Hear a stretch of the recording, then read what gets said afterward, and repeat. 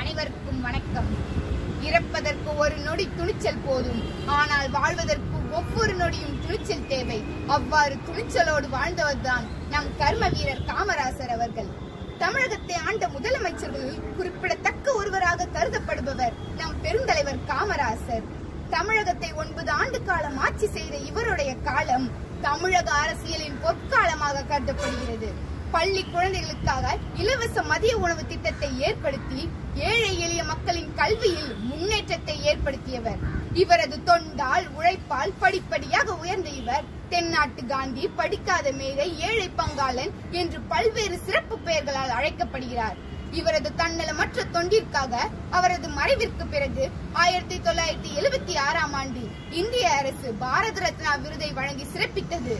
என்று அவரது சிறப்புகளை மட்டுமே வருடந்தோறும் கூறுகிறோமே தவிர அவரை போன்ற புகழை பெறுவதற்கான வழியை நாம் சிந்திப்பதில் பட்டம் வாங்காமலேயே உலகை பகுத்தறித்த பட்டதாரி நம் காமராசர். ஆனால் அவரால் திறக்கப்பட்ட பள்ளிக்கூடங்களில் படித்து பட்டம் பெறும் நம்மால் பகுத்து ஆராய கூட இயலவில்லை. காரணம் பயிற்சியும் முயற்சியும் நம்மை பொறுத்தவரை கடினமான ஒன்று. அசத்தும் உருவமில்லை மயக்கும் பேச்சுமில்லை சேர்த்து வைத்த சொத்தும் இல்லை. ஆனால் வரலாற்றில் இன்றும் நிலைத்து நிற்கிறது நமது பச்சை தமிழின் பேரும் புகழும். அனைவரது வாழ்க்கையும் வரலாறு ஆவதில்லை. வரலாறு ஆனவர்கள் யாரும் தமக்காக வாழ்ந்ததில்லை. ஆம் பயிற்சியும் முயற்சியும் இருந்தாலே ஒவ்வொரு மனிதனும் வெற்றியாளனே.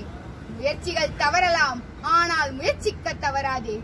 வளமான இந்தியாவை படைக்க நல்ல அரசியல்வாதியாகத்தான் இருக்க வேண்டும் என்ற அவசியம் இல்லை நல்ல குடிமகனாக இருந்து நமது கடமையினை இத்தாய் திருநாட்டிற்கு பங்கு அளித்தால் போதும்.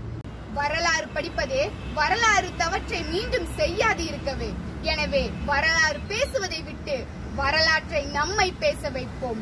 மண்ணில் பிறந்து மனதில் நீங்காத இடத்தை பிடித்து சரித்திரம் படைத்த கர்ம வீரருக்கு பிறந்த நாள் வாழ்த்துக்கள் கூறி விடைபெறுகிறேன். நன்றி.